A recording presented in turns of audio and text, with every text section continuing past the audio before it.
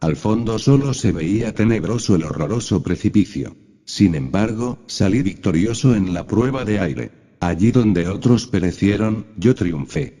Han pasado muchos siglos y todavía no he podido olvidar a pesar del polvo de tantos años, aquellos cocodrilos sagrados del lago. Si no hubiera sido por las conjuraciones mágicas, habría sido devorado por esos reptiles como siempre sucedió a muchos aspirantes. Innumerables desdichados fueron triturados y quebrantados por las rocas en la prueba de tierra, mas yo triunfé y vi con indiferencia dos moles que amenazaban mi existencia cerrándose sobre mí, como para reducirme a polvareda cósmica. Ciertamente yo no soy más que un mísero usando del lodo de la tierra, pero salí victorioso. Así en verdad fue como retorné al sendero de la revolución de la conciencia después de haber sufrido mucho. Fui recibido en el colegio iniciático, se me vistió solemnemente con la túnica del himno blanco de los sacerdotes de Isis y en el pecho se me colocó la cruz Tau, egipcia. Salve, oh Ra. Semejante a Tum, el Padre, te levantas por encima del horizonte. Y semejante a Horus, el íntimo, culminas el cielo. Tu hermosura regocija mis ojos y tus rayos, solares, iluminan mi cuerpo en la tierra. Cuando navegas en tu barca celeste, el astro rey, la paz se extiende por los vastos cielos. He aquí que el viento hincha las velas y alegra tu corazón. Con marcha rápida atraviesas el cielo. Tus enemigos son derribados y la paz reina en torno tuyo. Los genios planetarios recorriendo sus órbitas cantan tu gloria. Y cuando desciendes en el horizonte detrás de las montañas del oeste, los genios de las estrellas fijas se prosternan ante ti y te adoran, porque tú eres el logo solar. Grande es tu hermosura al alba y por la tarde, oh. Tú, Señor de la vida y del orden de los mundos. Gloria a ti, oh Ra, cuando te levantas en el horizonte y cuando por la tarde, semejante a Tum, el Padre, te acuestas. Pues en verdad tus rayos, solares, son hermosos cuando desde lo alto de la bóveda celeste te muestras en todo tu esplendor. Allí es donde habita Nuit, la Madre Divina Kundalini, que te trajo al mundo. He aquí que eres coronado Rey de los dioses. La diosa del océano celeste Nuit, tu madre, se prosterna en adoración ante ti. El orden, el equilibrio de los mundos de ti emana. Desde la mañana, cuando partes, hasta la tarde, a la llegada, a grandes zancadas. Recorres el cielo, eres el Cristo Sol. Tu corazón se alegra y el lago celeste queda pacificado, derribado es el demonio, el ego, el yo pluralizado. Sus miembros son cortados, sus vértebras seccionadas. Así sucede cuando lo disolvemos. Vientos propicios empujan tu barca hasta el puerto. Las divinidades de las cuatro regiones del espacio te adoran, oh tu sustancia divina de la que proceden todas las formas y todos los seres. He aquí que acabas de pronunciar una palabra y la tierra silenciosa te escucha. Tú, divinidad única, Cristo solar. Tú reinabas ya en el cielo en una época en que la tierra con sus montañas no existía aún. Tú el rápido. Tú, el Señor. Tú, el único.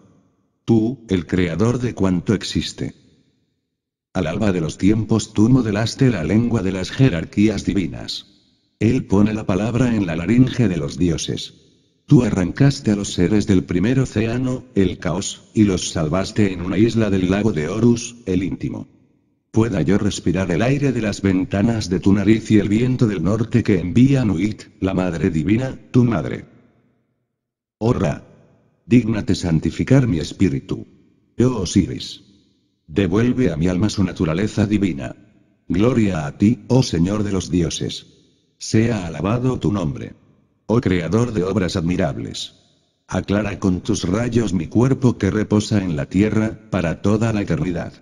Esta oración es textual del libro egipcio de la morada oculta. Capítulo 13, Luz Negra. Osiris es un dios negro. Palabras terribles, espantosa, insólita frase misteriosa que era pronunciada secretamente en sigilo de los templos, durante las ceremonias iniciáticas en el país asoleado de Kem. Bien saben los dioses y los hombres que Osiris Numen el dios egipcio, resulta en el fondo absolutamente incomprensible para todos nosotros. Eso que es misterio, eso que no entendemos, es negro para el intelecto humano. Después de esta explicación ya comprenderán nuestros lectores la honda significación de aquella misteriosa frase. Al comienzo aurora de cada universo, la eterna luz negra o oscuridad absoluta se convierte en caos. Escrito está y con palabras de fuego en todos los libros sagrados del mundo, que el caos es el semillero del cosmos.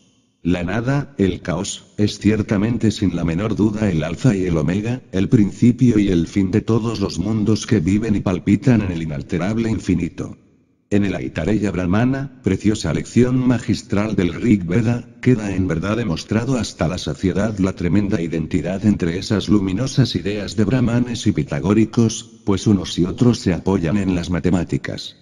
En el citado volumen indostánico se alude con frecuencia al fuego negro, a la obscura sabiduría abstracta, luz absoluta e incondicionada y sin nombre.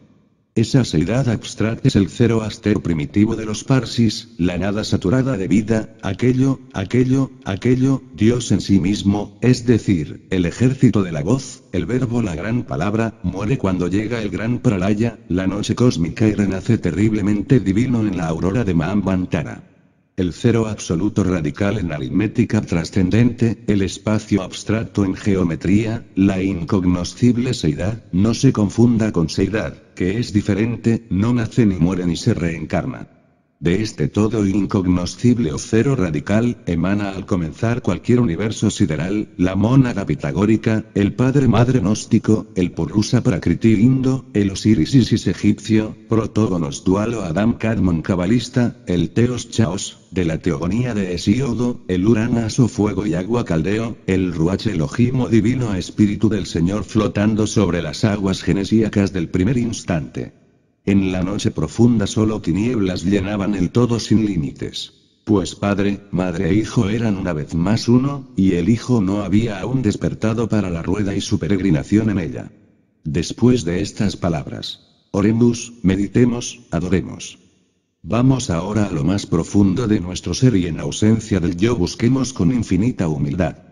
Allá, muy adentro, más allá del cuerpo, de los afectos y de la mente, encontraremos al niño Horus, el espíritu divino, nuestro real ser, en brazos de su madre divina Kundalini, Isis, a quien ningún mortal ha levantado el velo.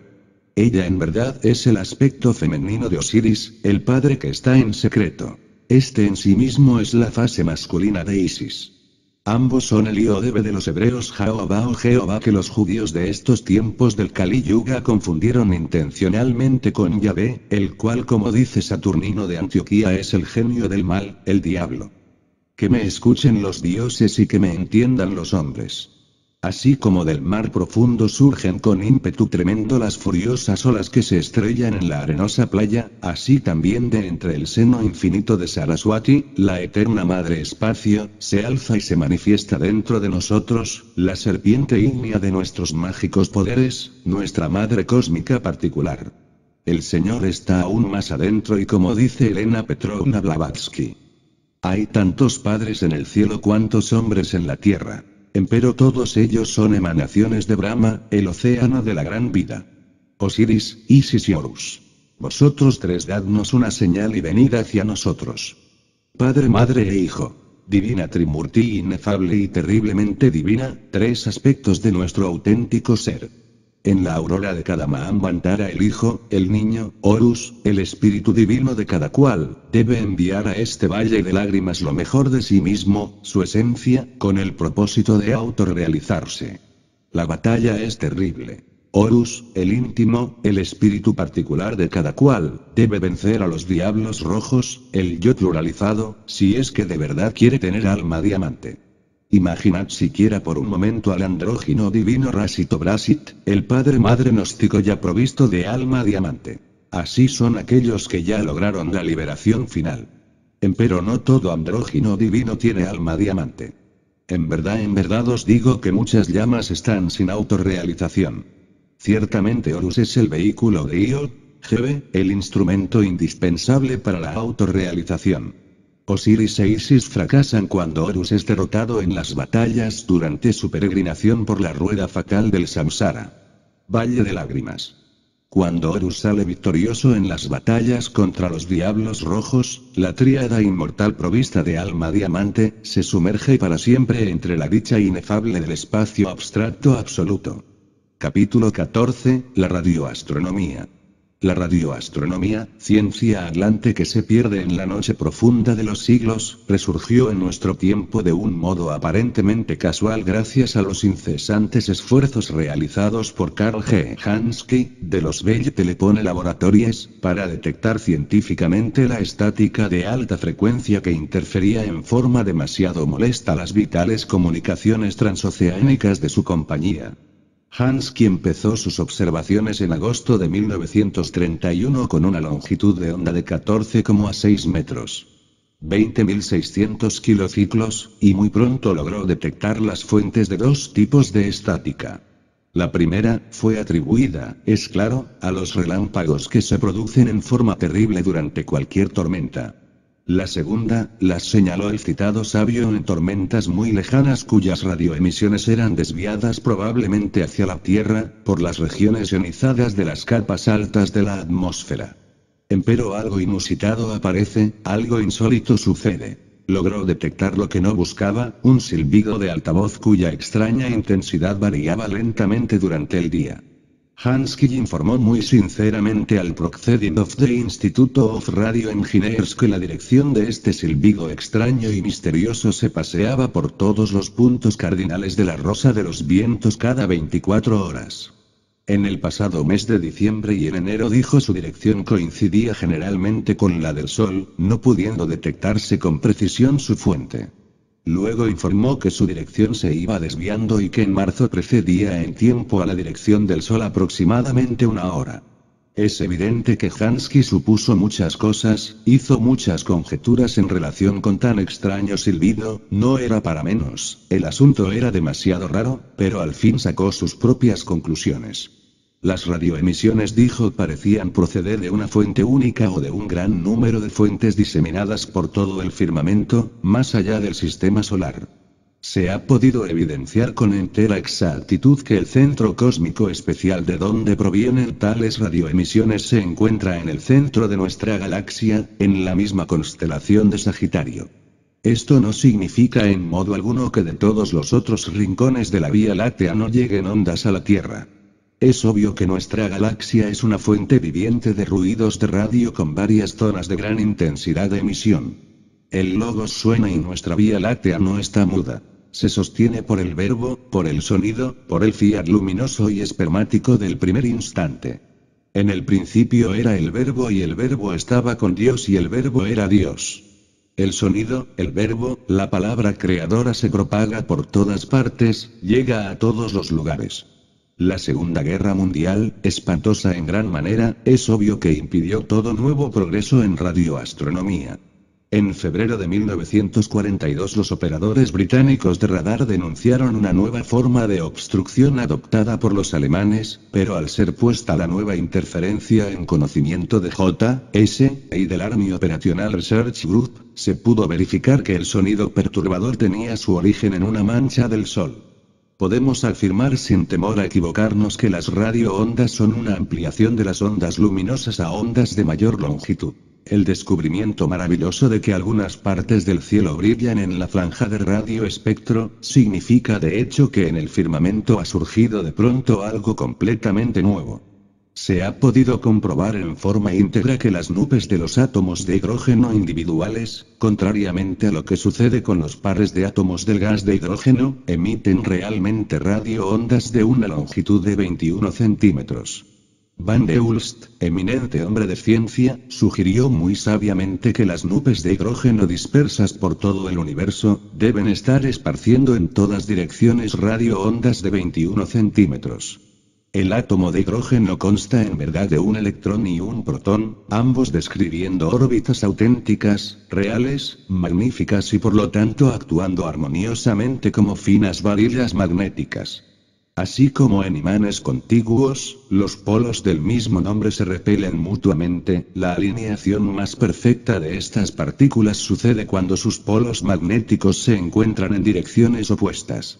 Por esto adquiere el átomo determinada fuerza que le permite liberar el electrón, de modo que su polo positivo queda alineado con el polo positivo del protón. Una vez ocurrida esta liberación, el átomo conserva una ligera reserva de energía. Finalmente viene lo mejor. El electrón es liberado, emitiendo